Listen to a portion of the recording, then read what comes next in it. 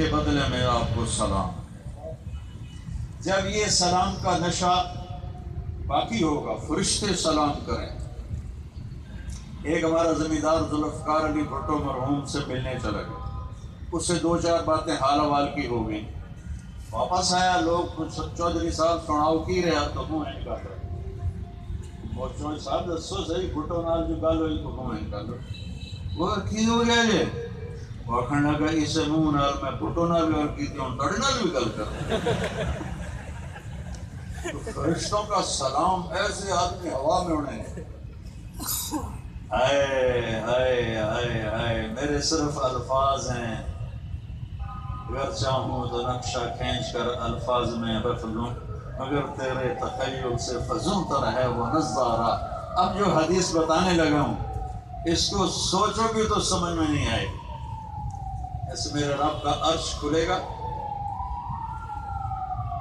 और अल्लाह मुस्कुराता हुआ अपने खूबसूरत चेहरे के साथ सामने आएगा और कहेगा सलाम मेरे बंदे, बंदियों, आज तुम्हारा रब तुम्हें सलाम पेश करता है। तुम्हारा रब तुम्हें सलाम पेश करता है। पूछेगा अल्लाह, हल वदी तुम खुश हो? कहेंगे अल्लाह। मौजा लग गई बड़े खुश। है तो अल्लाह कहेगा कुछ मांगो, कहेंगे, राज़ी हो जाओ वो कहेगा, राज़ी हूँ तो यहाँ बिठाया।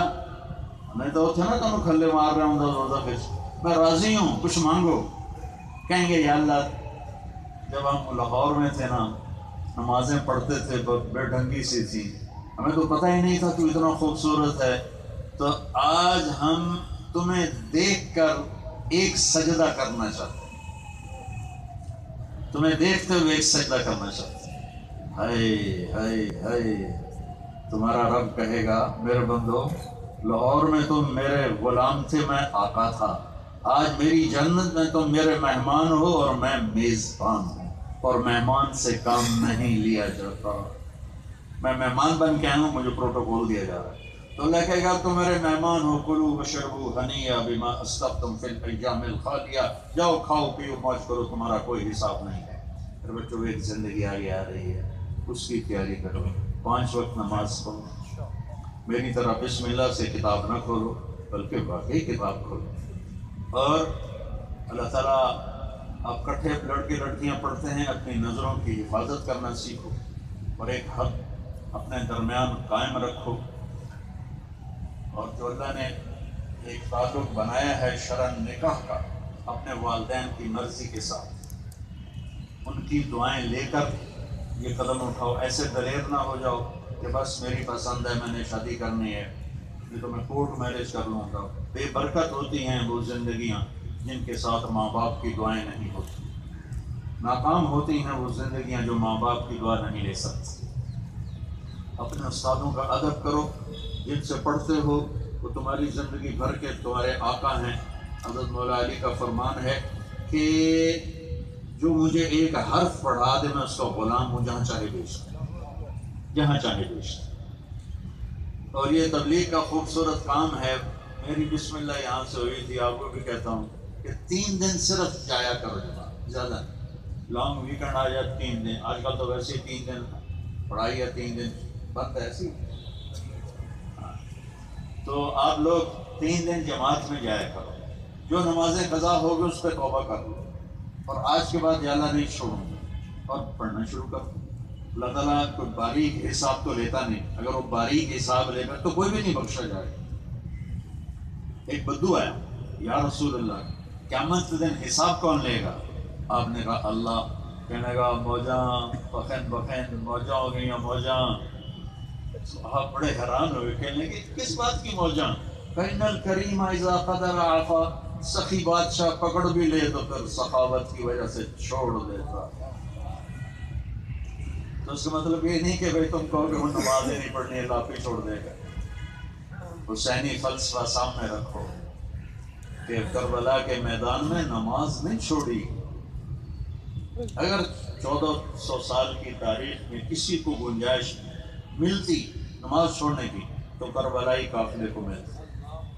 जिन पर जुल्म सितम की तारीफ़ लिखी जा रही जिनकी गर्दनें कट के नेजों पे चढ़ रही और ऊपर तपता हुआ सूरज था नीचे जलती हुई रेत थी और जब न, और ये सारा जन्नत ही टोला था सारा।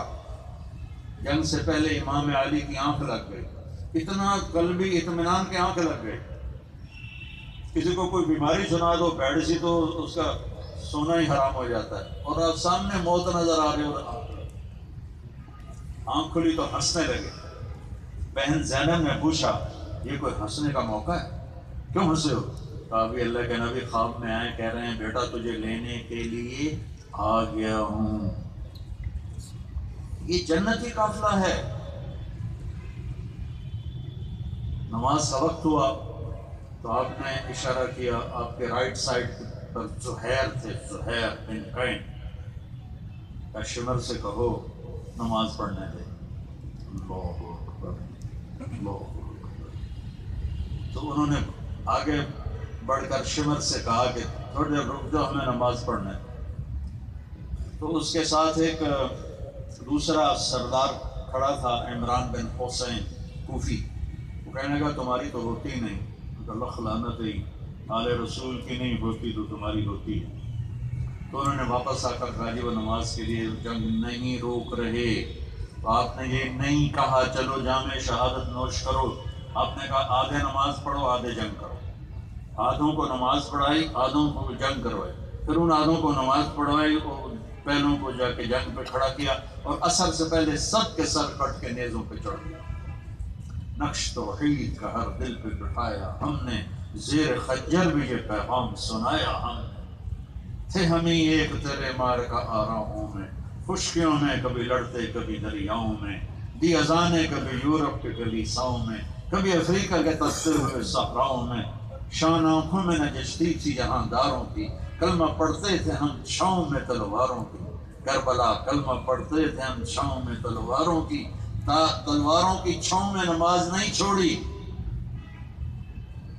और मेरी नस्ल बैठे बैठे नमाज़ छोड़ देती। तुझसे सर कशवा कोई तो बिगड़ जाते थे देख क्या चीज़ है, हम तोप से लड़ जाते थे हाय हाय।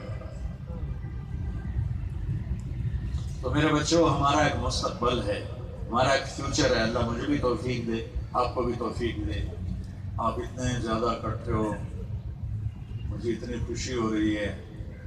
जब माली अपने बाग में वंचे खिले देखता है तो उसका दिल भी खिल उठता है।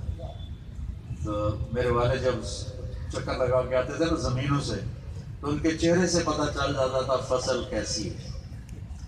फ़सल अच्छी होती थी तो हँसते हुए दाखिल होते कोई बीमारी डबी होती तो मुँह निमा करके उनके आज मैं मैं भी इसी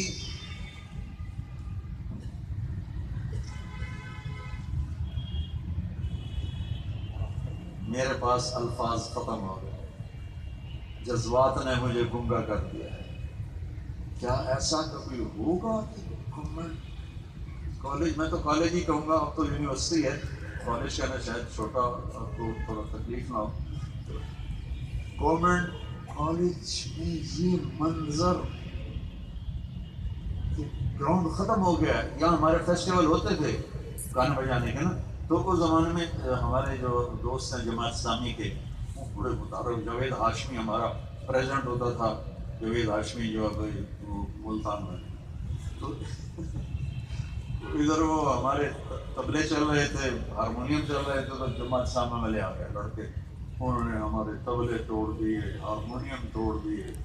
बाद में फिर हमारी बारी थी वो, फिर हमने बाद में अपना बता लिया।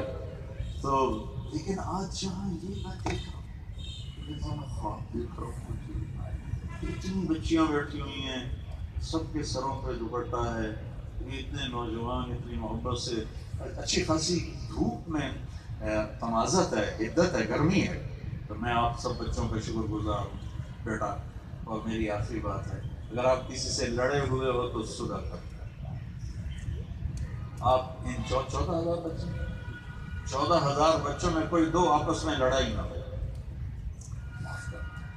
किसी उस्ताद की बेअदबी ना हो नमाज़ ना छूटे और सच बोलो और इस मुल्क के लिए अपनी सलाहियतों को बनाओ इस मुल्क के लिए इंग्लैंड में मैं एक आदमी से मिला तो कहने लगा पाकिस्तान वाले सब हिदायत पे आ गए तो यहाँ आ गए हो हमें तंग करने ना कहा नहीं आपको लेने आया हूँ ताकि वहाँ इकट्ठे चल के मेहनत करें आप रोटी के पीछे भाग के इधर आ गए और हमें ताने देते हो कि पाकिस्तान वाले ठीक हो गए मैदान में डटो, रोटी के पीछे भाग। वहाँ जाके तुम नंबर दो मखलूक को चाहे तुम सारी दुनिया की डिग्रियाँ ले लो। तुम काले हो। तुम्हें इज़्ज़त नहीं देता मुआशरा। जो अपने देश में इज़्ज़त है, वो कहीं नहीं है। इसकी तंगियों को बर्दाश्त करो। ये मेरे नबी की उम्मत पर मेहनत करो। तो अल्लाह का नबी अपने हाथ से फैलाएगा। आजा मेरा उम्मत। तो नियत करते हो सारे? बहुत खुशी हुई, बहुत शुक्रगुजार हूँ। अब ये सारे तो पता नहीं जुमा यहाँ होगा, इंशाल्लाह भी मैं खुतबा पढ़ता हूँ, फिर नमाज़ पढ़ते हैं, जिनका वज़ू है वो पढ़ लें, जिनका नहीं वो बाद में किसी और जगह पढ़ लें। सफ़र बना